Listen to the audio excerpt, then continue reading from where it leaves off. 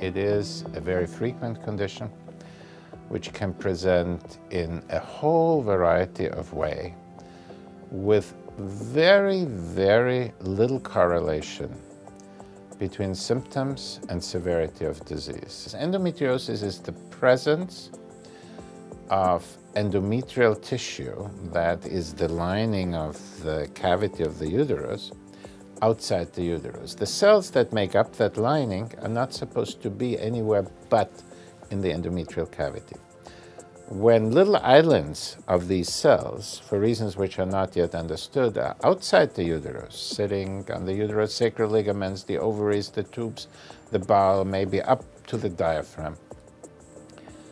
Every time the woman menstruates, those little islands also menstruate. And therefore, the immune system of the woman sees those little islands, which menstruate, which bleed, like it would see a little cut in the skin, like an open wound. And the immune system does the same thing to those little islands of endometriosis inside the abdominal cavity and inside the pelvis as it would do to a skin cut. It tries to heal it. And healing creates scar tissue. And scar tissue is obviously not something good inside of the pelvis and is particularly not something good when it affects the fallopian tubes, which have to freely float to catch eggs. Uh, endometriosis is associated with infertility, and you can have relatively mild endometriosis and have infertility and be infertile. And on the other hand, you can have very severe endometriosis and not even know that you have it and have three kids. So it is a very strange disease. And what makes it probably most strange is the fact that we still don't know why so many women have endometriosis.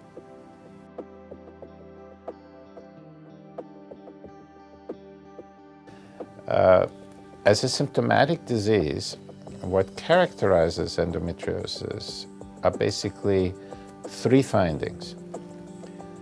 Uh, what we call dysmenorrhea, meaning pain during menstruation. And by that, I don't mean a little bit of cramping, but very disproportional pain. You can have what is called dyspareunia, which is pain during sexual activity.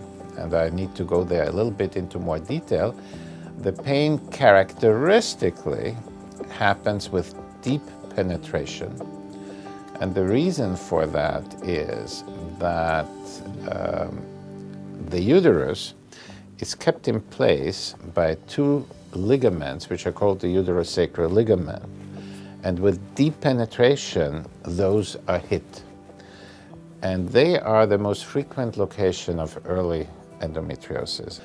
And the third sign or symptom is inability to get pregnant. And that's why we very frequently in an infertility center end up seeing uh, endometriosis patients.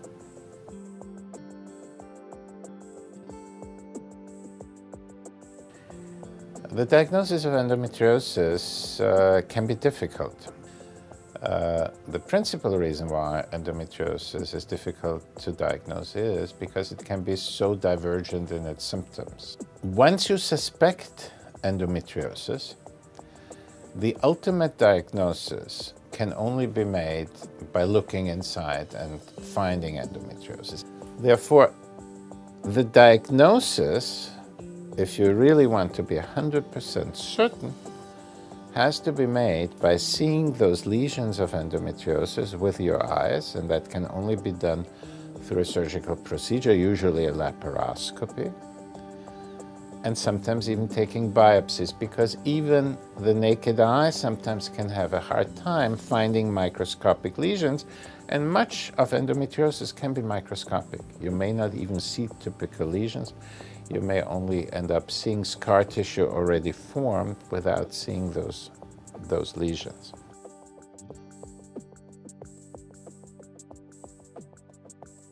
the vast majority uh, of my colleagues will agree that even mild endometriosis uh, decreases fertility. We think the most important way how endometriosis can affect fertility for, for a long time has been overlooked, and that is the fact that the ovary is the most frequent or maybe second frequent location for endometriosis after the uterosacral ligament.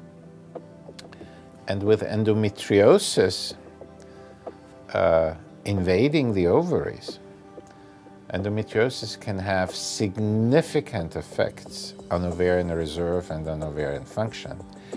And it is almost expected when you see an endometriosis patient in a fertility practice, and if you carefully assess her ovarian reserve, it is almost expected for these patients to show diminished ovarian reserve and premature ovarian aging. Finally, and probably the most controversial issue, is the association between endometriosis and autoimmunity. And autoimmunity, while in itself a very controversial issue in reproductive immunology, it is becoming increasingly clear uh, over recent years that autoimmunity can very negatively affect reproductive success, both in terms of allowing a pregnancy to happen and in increasing miscarriages. Uh, so endometriosis, therefore, in many different ways can affect female reproductive success and represents a major issue in our specialty.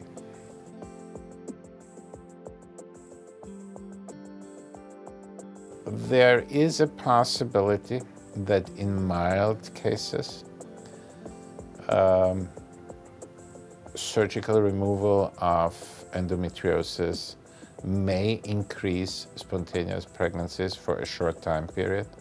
We did that for the longest time because we had no alternative treatment. And what we learned in those days is that yes, we are getting a very short period after the surgery where we see a little peak in pregnancies. But the scarring very quickly comes back and usually even worse than it was before. And I think the same thing applies to endometriosis. We don't have treatment for endometriosis, neither surgical nor medical. Whatever we do is temporary. And yeah, we may get a little window and we may get a few pregnancies through it. But in the long run, we are not getting a benefit. And therefore, I would argue today, in today's world where IVF in vitro fertilization has so greatly improved in results, I would argue against surgery and I would argue very much in favor of taking patients into IVF rather than exposing them to surgery.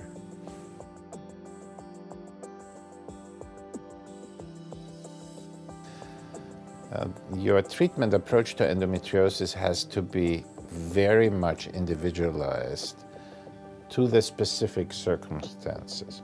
The patient with mild endometriosis who may have mild tubal disease needs very different treatment from the patient with stage 3 endometriosis who has huge endometriomas.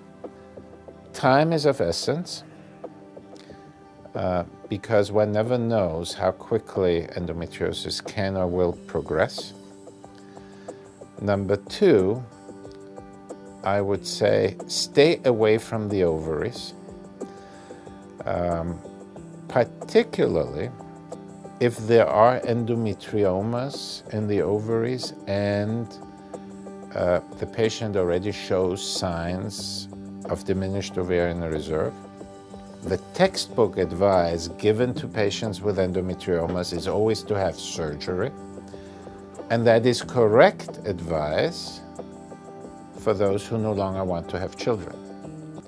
But if a woman still wants to have children, my strong advice would be try to delay that surgery for as long as possible because by having surgery, you may have removed your last chance of achieving pregnancy because every time you operate on a woman with endometrioma, You take a lot of ovary and ovarian reserve out. Even the best surgeons will do that. It cannot be avoided. And we all the time see young patients who come to us with high FSH levels uh, who tell us they don't understand how come suddenly the FSH jumped. And when we then ask them, that suddenly wasn't so sudden, it happened after they had surgery for endometriomas. So be quick and be conservative. Those are the two principles for infertile women with endometriosis.